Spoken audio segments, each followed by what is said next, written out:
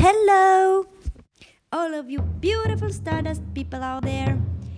Today's project is about seeing how I would do something today, the same painting I did in January.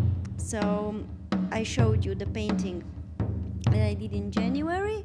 It was about Aquarius and it's the one I love least. Like I'm really not pleased with how it came out. I didn't know what I, what I wanted to paint. I didn't know how to paint it. I just knew I had to do a tree, and um, well, I was really stuck with that idea.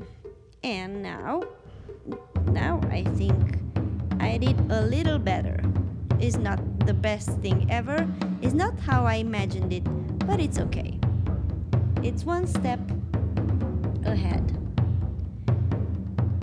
poem goes like this I found a day to turn back in time. Is loving what I am, cherish and nurture, living in the now, prepare the future. Thank you very much for watching. Please share, subscribe, and like if you enjoyed watching this video. Thank you very much. Love you. Kisses. Bye bye.